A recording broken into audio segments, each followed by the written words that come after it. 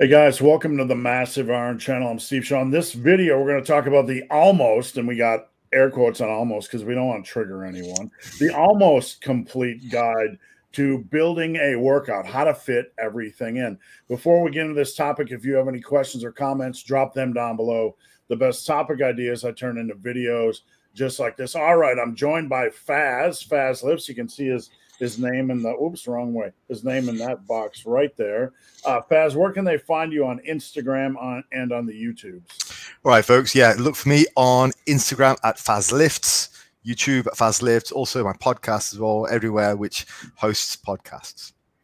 So we're going to do a, a, a, topic I don't think I've ever done, and I don't see, you know, in the in the sea of the biggest chest building mistakes and videos like that uh, we don't see too many uh, guides on how to build a workout. So let me set the table with the the concept. Okay, you have your four basically four major, and we're using this loosely, right? Um, mm-hmm. because getting into a semantics discussion, what's a major body, minor body part, is silly. But conventional weightlifting, uh, conventional muscle building, the four major body parts are back, quads, chest, and shoulders. And then if you're if you're building a workout, you got your four major body parts. And then you have rear delts, calves, abs, forearm, neck, traps, glutes, lower back, biceps, triceps, hammies. Did I miss anything Faz? I think you got them all. Yeah. So you got all of those. You yeah. got all these body parts, and all of a sudden you're staring at a three day full body template um, an upper lower where you do every other day, three days a week or four days a week, or even a body part split. The question is, how do I fit all of this stuff into a program and still have it well rounded, have it complete? Mm-hmm. So, Faz, um, if you don't mind, I'm going to set the table with how I kind of think, and then I'm going to pass it over to you. And I don't mean to dominate the conversation opening up, but me personally, and this is just how I program, I usually start with about four exercises uh, for the major body parts, generally around four, and this could it could eh, of, of three sets, so about 12 sets. Sometimes it's 10. Mm-hmm. Uh, so you have back, chest, shoulders, and quads. That's about 48 sets. Now, if you were to add all the uh, other body parts, one, two, three, four, five, six, seven, eight, nine, 10, 11, and let's say you wanted to give them six sets apiece, that's 66 sets. Hmm. So you have 66 sets of minor body parts and 48 sets of major body parts. That's a 114 hard sets a week. In a full body, you're looking at 35 sets a day. If you do all of that, even in a body part split, you're looking at well over 25 sets a day. So the question is, Faz, and I'm going to pass it over to you how do you process this? And how do you fit this into a workout? And what do you cut off? Okay so yeah so when i start putting together the routines i i look at things slightly differently than steve i think but um, fairly fairly similar. So i kind of split it up into chest back quads and then hamstrings glutes. So upper body two big body parts lower body two big body parts. Then on top of that um, i look at delts bis, tris, calves, abs. And that's kind of like the, the, the setup. So if we're looking at, say, a, an upper lower, which is a pretty common split for a lot of people. So upper lower split, I might have um, chest back, delts, arms on the upper, um, quads, hams, calf, abs on the lower. So it's a nice sort of split, even split. I think that works pretty well. But then you've got to really bear in mind, okay, how many sets do I want per body part per session? Now, at a certain point, the time is going to overflow. And what we want to do is we want to look at where can we save time. And I think that's kind of part of the conversation today, isn't it, Steve? So like right. how how exactly can we program everything in, making sure we're covering everything, but we're not getting our clients to spend all day in the gym. And so I think probably the very first part of the conversation we need to talk about is is it worth specifically programming in a lot of the isolation lifts like um, isolating specific forearm work or neck work or trap work or glute work. And uh, we talked a little, a little bit off air about that. What are your thoughts on that, Steve? Well, first off, I want to say, um, you know, these are the types of discussions when we see things slightly differently that people will come to us and say, "Faz said, Steve said," right, and, right, and try There's a lot of that. it, it's just we have two different languages, but at the end of the day, the application yeah. is going to be fairly similar. So mm-hmm. I, w- I want to set the table with that, yeah, um, because that's that's usually how these types of discussions go. Yeah. Um, if I'm looking at four days a week, I'm looking mm-hmm. at logistically mm-hmm. 72 sets uh, tops mm-hmm. uh, like tops, like absolute tops, 18 yeah. a day. Yeah. Um, so what I do is I tackle the big stuff first, you know, whatever you want to define as the big stuff for that particular client. Um, you know, some clients are very glute focused and you mm. got to add a glute exercise in. Um, so I start there, but once you have that in place, then you have all these minor uh, areas Mm-hmm. Uh, and Faz, we talked about um, before we jumped in, you know, based on the program for that particular client or that particular person, you know, and how it's impacting muscle groups using the major lifts, what yeah. then do we need to fill in first? Now, I'm going to shoot some body parts at you and you can let me know your thoughts. But obviously, biceps, triceps, and hammies you got to have work in there, right? Number one, if you don't, uh, someone's going to have a heart attack. Number two, I think there's a, uh, in my experience, when I cut out biceps and triceps work, things like my bench eccentrics uh, felt yeah. noticeably heavier. My yeah. arm size decreased, and there's some scientific information that shows that that's beneficial. So, would you agree that you know once we got our big stuff in place, you have to put in some bicep, tricep, and hammy work. Yeah, definitely. So I think this is where we can say, with a lot of the big exercises into place in place, they probably cover a lot of work with, say, forearms. Maybe you could argue traps. Depending on how heavy you're going, you can maybe even argue abs. So there's quite a lot that gets covered with the big exercises. You get, I think, in terms of ab work, for example. I mean, Steve, um, you're probably quite similar to me when we were in our powerlifting heydays so back in the day. Right. Um, I didn't really do a great deal of ab work because I was just under the bar so much anyway. So the very small muscle groups, like you're saying, I think they get covered just from the big compounds. Now, where it becomes a little bit trickier, and I think this is a big meaty part of the discussion, is how much carryover do we actually get on the medium-sized body parts, like say the bis, the tris, stuff like that. And I think that's where I think I kind of want to introduce the concept of um, fractional sets and um, the individual variance in fractional sets. So let's say, for example, the example you and I were talking about off air was um, pull-ups. Now, the pull-ups also involve involve biceps or even weighted chins. But can we say one hard set of weighted chins is a set for biceps? I would say for me, probably not. Um, so you can't count them as one set for biceps, but there's certainly something for the biceps. So I think that's where we have a bit of a discussion going about okay, how can we um, individualize that? And I've got a couple of examples that I uh, I've used in the past, which I can share with the audience. So I'll start off with just one. As a client I had a couple of years back, um, Gemma, and uh, I had her like you do with every client. You set them up with, you know, a routine to begin with, and just see how they respond. Now, by the end of the first block with her, her elbow was starting to be a little bit, be a little bit overworked. So we had a look at her routine, had a look at her form, and she was a very tricep dominant presser. So on machine exercises or bench presses, she was very tricep dominant. She wasn't really chest dominant at all. So what is the solution in that circumstance? Well, for her, the pressing, the chest pressing, would involve a lot of triceps. So alongside the additional tricep work I had with her, the isolation exercises, she was getting way too much tricep work. So simple solution, what do you do? Well, you've got two options. You can either cut back on the chest pressing, or you can cut back on the on the tricep work. What we thought we'd do is a bit of a compromise. Rather than cut back on the specific isolation work, we replaced some of the chest pressing with chest isolation work. So it took her triceps out of it for that for that for those number of sets. She still got all the right chest work in, and all of a sudden her tricep and her elbow feels a lot better.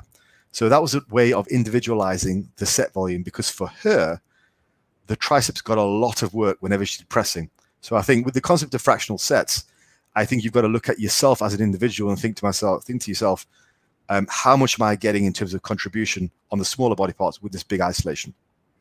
Yeah, and that's uh, you know, you call it fractional sets, and basically I tend to dumb it down even more, you know, into just rants like you don't need neck training and forearm training, um, but it's it's the same concept. Now, uh, what you talked about, um, you know, pull ups. I, uh, you know, everyone's into, uh, individual. When I do dumbbell rows, like I like to do, they're very taxing for me, hmm. and uh, it's a lift I'm naturally strong at. Um, you know, I've done 200 by 22, 270 by 10, and uh, you know, I feel my bice. The limiter on those is usually my cardiovascular system hmm. and my biceps. I have to be very, even if I have spot on, damn perfect form. There's you're going to start to feel some bicep fatigue. So uh, for me, um, even on a lift like that, the, with the biceps being um, you know, a small weak exercise, I'm I'm going to notice them. I'm going to notice them being worked. Um, to your point, you know, I have naturally big triceps, so um, I focus on a lot of chest work in my training because chest is always overshadowed by my triceps, and I do certain even pressing exercises like a guillotine press variation where I can really feel my chest stretch. And uh, I don't want anybody to panic. I don't take the barbell down to my neck, but it, it's a variation. So, with that established, Faz, um, we got kind of you know the big hitters in the mix. I want to I want to go over uh, you know continue this discussion on fractional sets, hmm. and let's talk body part by body part really quickly in a machine gun manner. Uh, I'll give you my take on uh, rear delts first. Um, when people want rear delt training, the first and foremost, uh, I tell them to get your rows strong, get your rows in place. Um, you know, a, a, face pull isn't too far off from a row. So my my baseline for them is to have them get their row strong. Let's focus on your rows, and then if you want to add, it's it's hard not to add a set of face pulls in in this day and age because people panic like my posture and like rows are mm. kind of doing the same thing. But what are your thoughts on rear delts? That's my standard. You know, get, let's get in a lot of quality row volume, pull volume, and then maybe a trivial three sets of face pulls a week. Yes, but I'll, I'll, take it back to the example you gave about the dumbbell rows, um, and, and, also the example I gave about the chest press with my my female client. Um, I think it really depends on the execution of your rows. So, for uh, for this for this girl I was coaching, um, the execution of her chest presses was very tricep dominant. So I think one of the things I like to do, and I know you're very big on this as well, Steve, rightfully so, is form checks for clients. And I, I want to make sure when a client is rowing, they are actually getting the most out of the row. So they're using a full range of motion, rowing all the way, and they're not just doing this this sort of short range lat row because I think rows are a back exercise. They're not just a lat exercise. So I'm not a big fan of trying to target specific areas of the back when doing rows. I want to just row for overall growth because it gives spillover onto the smaller body parts like the rear delts. So and that and that I will say that's regardless of if the client's got lots of time to train or or is limited on time to train. So now with that, I'm going to say like yourself, Steve, I probably wouldn't eliminate rear delt work specifically altogether, unless the client was very limited for time. And then I might opt to do a lot of compound lifts. Um, there's usually room to add in a few sets of rear delts. My preferred rear delt move for my clients is dumbbell rear delts or some sort of chest supported rear delt move, like a barbell face pull. Um, so you're lying on the bench and your chest is supported. I find, and not to maybe get too much hate on me from your from your channel, depending on how many Athlean-X viewers we've got on here, I find the face pull to be a movement which is good for people who are weak because you, if you're standing upright, you're limited by your own body weight. Otherwise, you'll just pull yourself towards the the cable machine. Right. I find when I'm doing it, I have to maybe put a foot up and just put my foot against the machine to prevent me from pulling myself towards the machine because after a while you get to a certain level of strength and it becomes pointless. So it's not a movement if you are decently strong, in my opinion, which makes it not a very good movement for the long term. Because if we're thinking we want to add weight and be progressively loading the movement over time and over the course of years, it's not a movement that I program a lot in because I would rather have somebody lying face down on an incline bench and pulling up with a barbell so they can actually load that movement over time. So the take home, I guess, here would be get in your rows and hmm. then uh, probably I would say both of us program in a minimal starting point. Like if you're at home and hmm. building your own program and not sure yet, maybe uh, start with a minimal amount of rear delt work, get to know what's going on. Hmm. And uh, look, I'm going to, you know, when it comes to your rows, like Faz said, let's not try to turn everything into this slow mind muscle dance where you're you're dumbbell rowing 45 pounds and trying to feel your lats. Um, get them strong you know, with with yeah, good get them strong. Mm, yeah.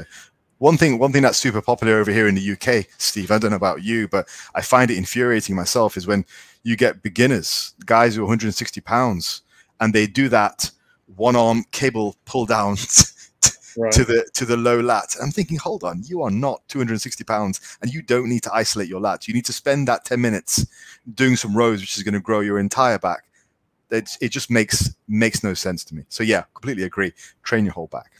So let's jump into something that's a little bit more easier. I'm going to lump these two together because, um, you know, uh, let me first. We're, we're, going to talk neck and forearms here. Let me first. Mm. Uh, preface this by saying, um, you know, it's going to get some Alpha Destiny comments.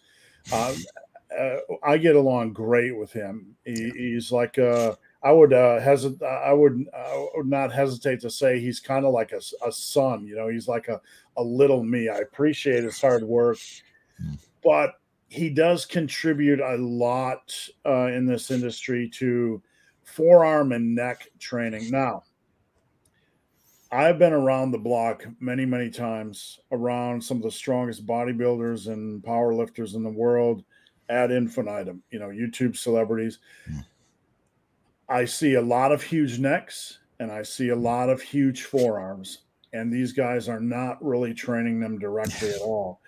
It just happens as you get big. I will say, Faz, I'm not a fan of training either of them, programming either of them in. If you want to do some wrist rollers or some forearm work at the end, there's no downside.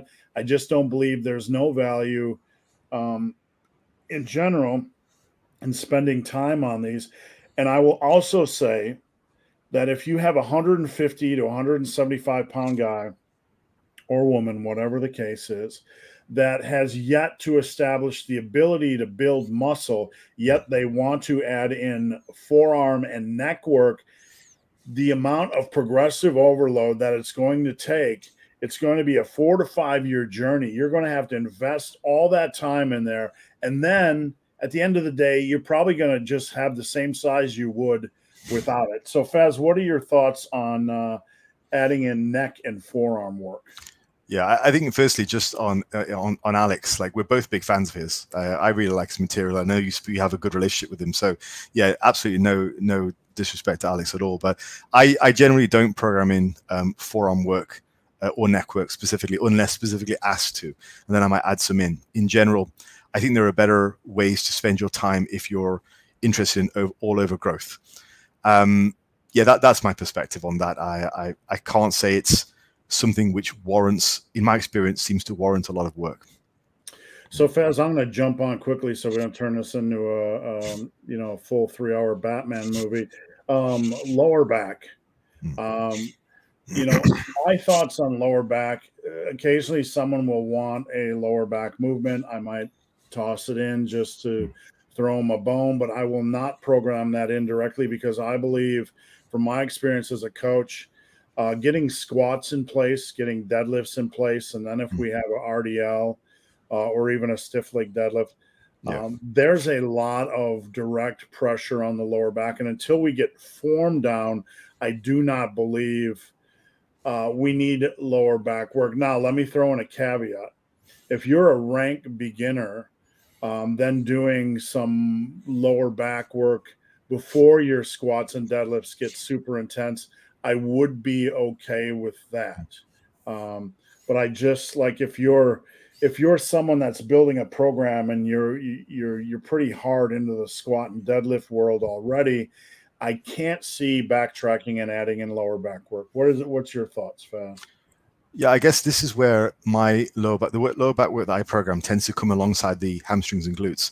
So um, I see the lower body as two major body parts being the quads and then the hams glutes. And event essentially the lower back kind of gets trained in with those. So I typically have around about four exercises for that whole area. It'll usually be two hip hinges and two types of leg curls. Obviously, leg curls aren't really affecting the lower back very much at all, but they'll be getting a couple of hip hinges in there, which are going to train the lower back. And some of my favorites are Romanian deadlift and the good morning. Big fan of both of those. I generally have people good morning after they squat and generally have people doing deadlifts after they leg press on a separate day. That's my rough kind of setup, which a lot of my clients will be familiar with.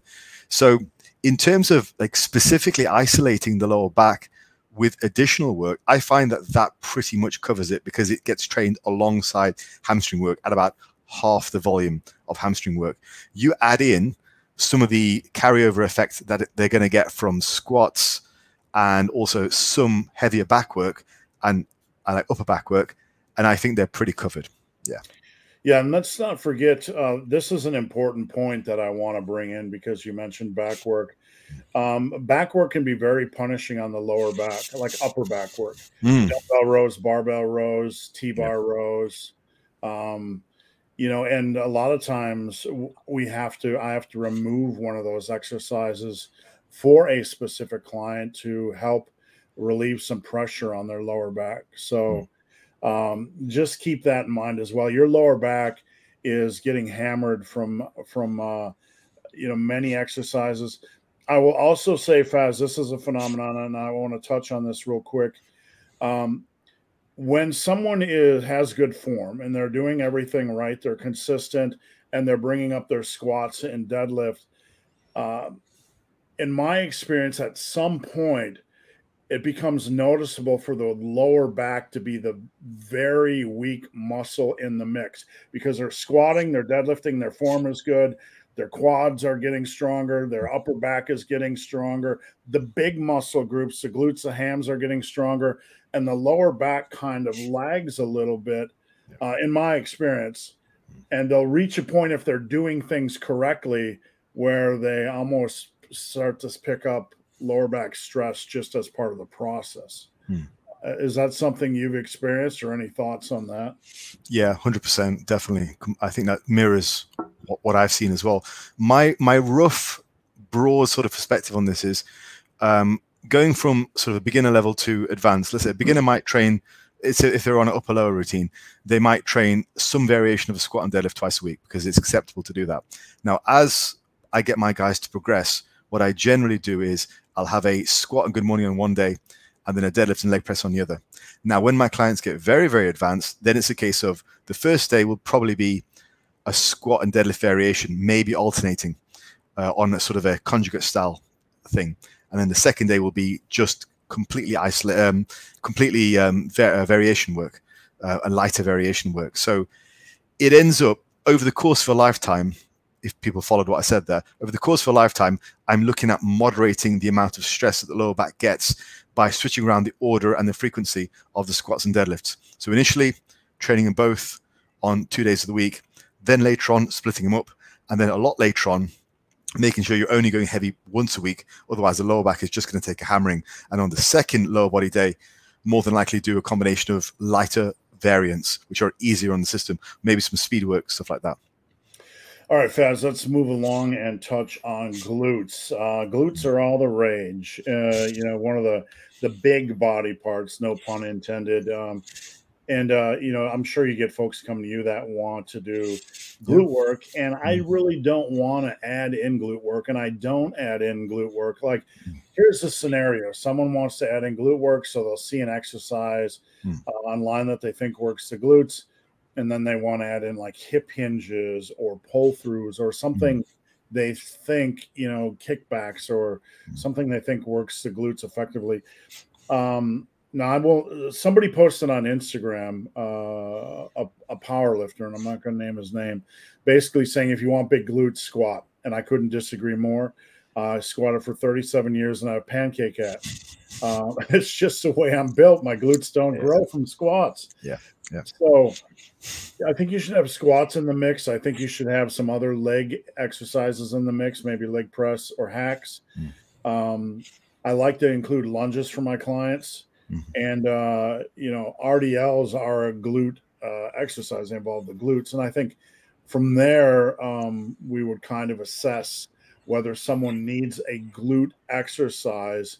I don't generally program them in. So, Faz, what are your thoughts? And what are your thoughts on like big exercises that people love to add in these days, like a hip hinge for glutes?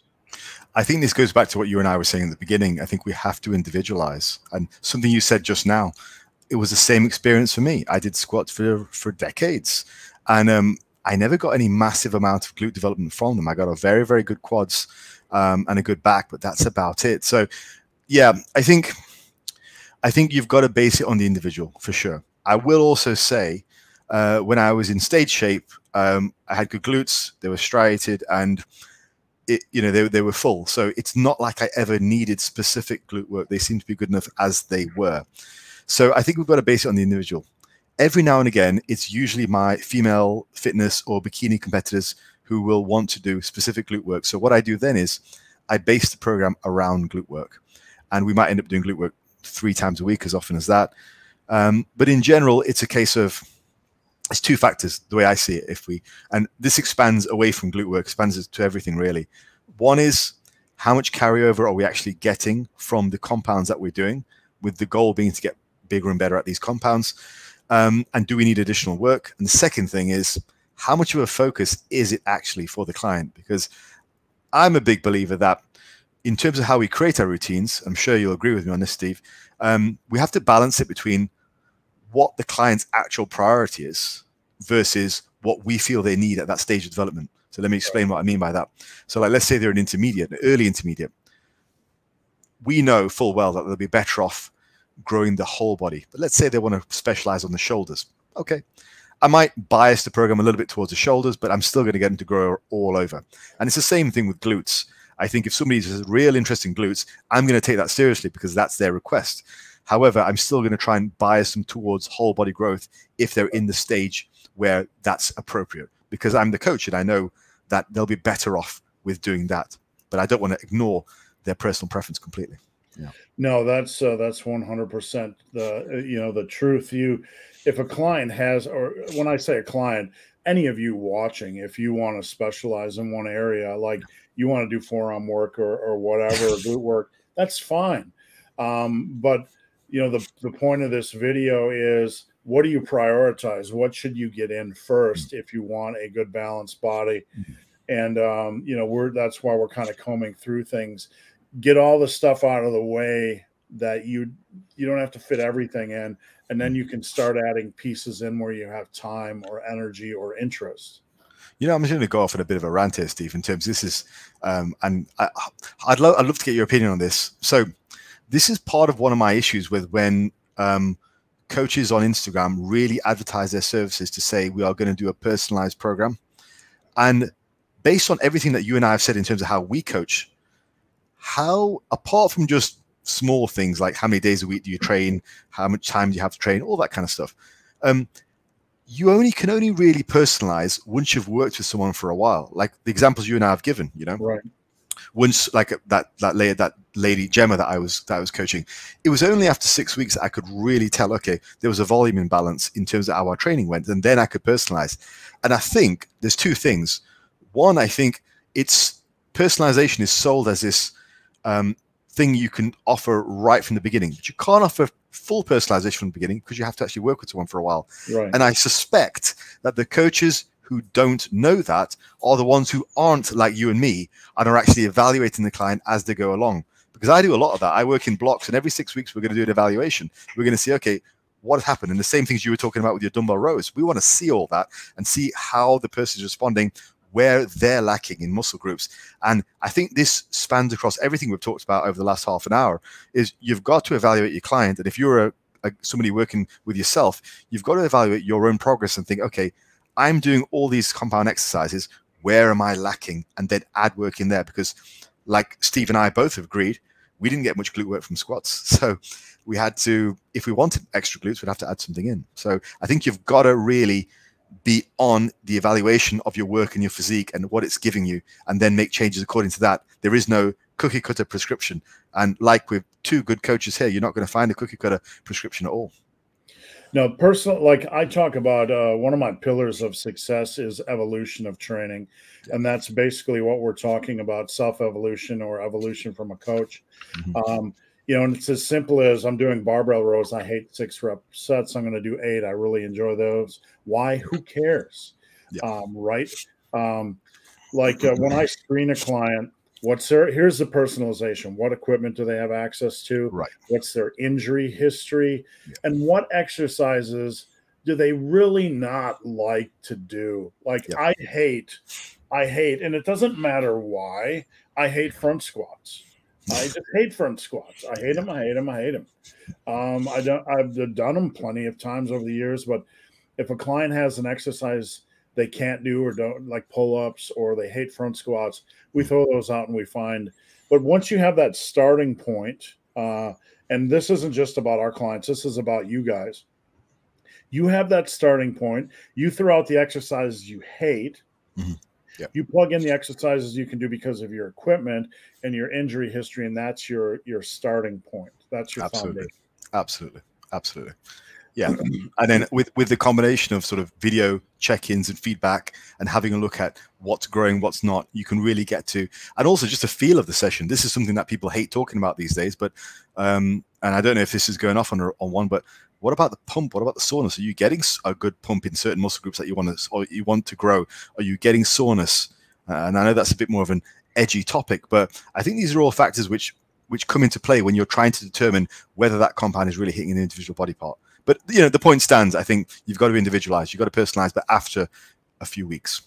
One of the things I do with my clients, and this is something you guys can do to yourself, is when you're done with a workout, say, "How did that feel? How right? How did that exercise feel?" Mm, yeah. um, I'm always asking my, you know, my my clients will post a workout, and I'll be like, I'll I'll I'll pick through it like a bird, you know, a little bit every you know different time. Like, how did rear delts feel? Did you were you able to feel your uh your you know and they might be like, all he does is ask me how I feel, right? it's a therapy session. Pull, yeah, we're trying to pull things out of you.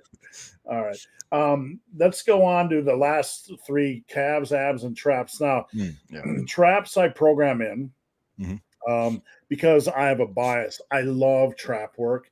Mm. I believe that a strong yoke traps uh, will only help with a deadlift. So if you are strong at holding weight, it'll help you a little bit when you're trying to pull weight off the ground. I think traps um, are undertrained by so many people.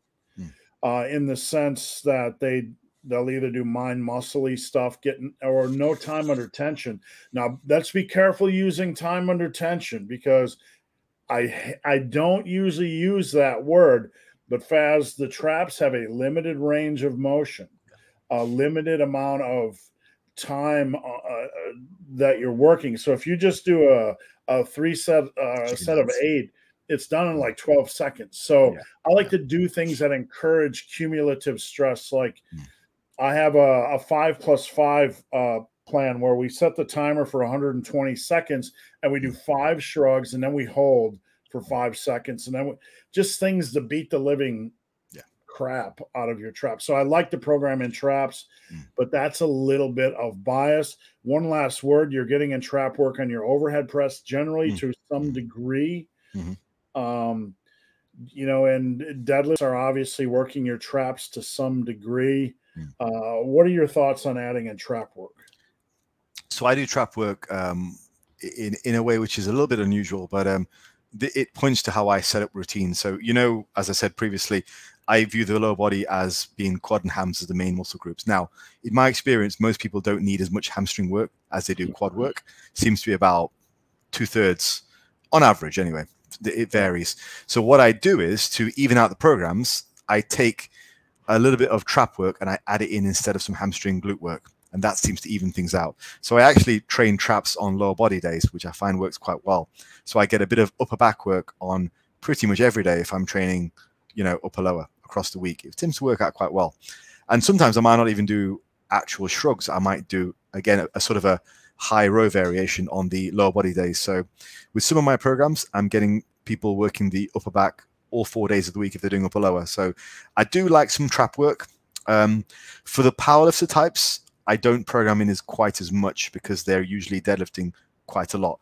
Um, and I guess that's, I think this is one of those areas, Steve, where coaches do have a bias. I think you find coaches who program in quite a lot of deadlift work tend to not program in quite as much trap work. Coaches who don't program in quite a lot of deadlift work tend to focus on trap work, which I think is perfectly normal and acceptable because, like we have based this entire discussion of, you're filling in gaps based on the compounds that you have available. So I think it's fine. But yeah, that's my the, approach. One of the sneaky things I used to do to to work in traps without having to load another barbell, like you remember Jamie Lewis, you know, he yeah, uh, yeah, pain, uh, chaos and pain. Yeah, chaos and yeah. pain, uh, mm-hmm. the king of 800, 700 pound shrugs, right? Yeah. Um, one thing I always did in over the years was like on the last set of RDLs at, at mm. lockout, I would just shrugs. knock out a max rep set of shrugs, yeah. or yeah. my last deadlift set, I would do a static hold and shrugs. Yeah, I like to sneak things in like that on traps. Those Romanian deadlifts with shrugs at the end, they will get you something nasty sore. yeah, it's, it's an easy way to work work in traps. All right, abs and calves. Let's go to before we have end, mm. end on abs calves. Um, okay. When I build a program, sometimes at the end I'll put calves optional, right? Because look, I made a post on Instagram the other day. How many people do you know that train ab or calves with the intensity that they deserve to hmm. actually grow? I leave them off the table. Uh, and if somebody's passionate about them, I I completely am good with you adding them in. But if you're going to do them, we have to do them correctly and with the right degree of intensity. What are your thoughts on calves? So I work with a lot of um, sort of mostly hypertrophy bodybuilding type of clients. Um, with them, I generally program calves and abs in because I think aesthetically it's quite important. However, um, I do use a lot of intensity techniques to make sure we get in and out quite quickly. So myo reps, um, short rest periods, drop sets, things like that. So I find cable crunch is my favorite premier ab exercise, you know, just overhead cable crunch. And I find if you can program in something like three to four sets with only 20 to 30 seconds rest in between, it's challenging. So people get up for it because ab work is generally not that challenging. Uh, you know, so it's, it's, it's interesting. You're using weight, you can progressively load it, but the entire three to five sets is done within about three minutes. That is the kind of tactic that I take. When it comes to calf work, if I can, I'll fit it in in between people's leg presses. So they'll do a set of leg press and then they'll do calves on the leg press. They'll do a hack squat and they'll do calves on the hack squat, stuff like that. So, like you do with traps, I kind of sneak them in. But I think aesthetically they're quite important. But then I do work with a lot of bodybuilders, either competitive bodybuilders or wannabe bodybuilders. So I think from that angle, it, they're they're a lot more visually striking than forearms, for example. Um, so I like to add them in yeah. Yeah so um you want to i'll just end with abs and then we'll do a quick recap yeah. and get out of here. My my uh you know when it comes to training abs i really try to avoid any of the you know common bull crap you know the repetitive stuff. Yeah. Um can you do an ab wheel rollout for three sets of 15 uh you know, like planks. Uh, do you have basic plank skills? Now, plank is boring, so I'll do things like shoulder tap planks where you're counting reps to stay engaged, or rotational planks where you're doing uh, you know, that sort of stuff. That's kind of where I'll start with people mm. ab wheel rollouts and some kind of a rolling or a repetitious plank, and then after that, if they want ab work, we'll we'll figure we'll figure it in. I don't generally program in specific ab work, but I will say abs or calves optional on this day. So Faz, just as a final note, this video, we're going to do a quick recap and get out of here. This video is about building your own workout. Now, yep. I'm going to take a minute and tell folks how I do mine. You're going to recap, take a minute, tell folks how you do yours. We have established all the body parts that are kind of optional, right? Mm-hmm. Um, we've established, we've had some good conversation on different body parts. For me, um, you know, I look at back, I look at quads, mm-hmm. I look at um, shoulders, and my and chest. My brain's frying here. Shoulders and chest, uh, back and quads. Those are the big ones I start with, the must-haves. Then I add in some bicep work, some tricep work, some hammy work, and from there I might pepper in three sets of rear delts, three uh, some kind of trap protocol, and optional abs and calves. After that, you have a full schedule already uh, especially if you're doing a full body, but four days a week, that's a pretty tight schedule. Mm-hmm. And then from there, if you have something pet you want worked in, then it's time to work it in. So, Faz, uh, you got a minute? Tell us uh, you're you're quick and dirty. Okay, so advice for you guys if you're building your own program is, I the way that I do it is is I'll start with chest, back, quads, hams, glutes, as the four major body parts. Now, if I'm doing that on a full body, they'll all be right up there as the first four exercises you do with something representing them all. If you're doing it as an upper lower, it'll be chest back one day, quads, hams the next day. Then I fill in on the upper body with delts, bis, tris, and generally calves and abs. For me, that balances out quite nicely. Now, in addition to that, I very rarely program in specific forearm work or specific neck work but I think if you have time to do those and you are interested in doing them, it's not a bad idea. However, I would like to see you uh, funnel the volume to where it's useful. And um, I did a video on this recently. You can check it out on my channel, which is just trying to make your training as specific as possible and ensuring that the bulk of your training is going towards hypertrophy of the areas you want to uh, grow with the type of rep range and exercises which are best for growth. So we all have limited amounts of time in the gym. I think you should just funnel the majority of your training effort into the areas where you're covering a lot of work and then specifically individualize how much additional work you need. I, for example, just a quick one before I end, I don't personally do as much tricep work as I do bicep work because I get a ton of triceps from any press that I do. It's just my personal preference. Uh, but you might be different and you should be aware of that and program accordingly to be fair, just like most coaches do, most good coaches should be working with a client and be looking at these types of trends. Hopefully that helped. Definitely helps. You know, I just noticed I have the black background, you have the white background. We have the angel and the devil. Right. Somehow I got pitted to be the devil. uh, one final parting shot, uh, Faz, is like when people look at our different approaches, hmm. um, you know, and people do that. Like Faz says this, Steve says that. What you need to see is the commonalities. You know, the the commonalities. Like usually the differences are just nuanced and not game breakers. Yeah. Uh, when it comes to game breaking or breaking a program, um, you know there are based on everything you've learned in this video now you should be able to go over and look at someone's program mm-hmm. and i'm not going to name names but i got a, a newsletter from uh, someone and it com- was completely unbalanced mm-hmm. and it had all the things in the workout that people you know like that's overstuffed with abs that's overstuffed with glutes mm-hmm. you should be able to start to see um, you know when somebody doesn't understand programming based on some of the things we've talked about in this video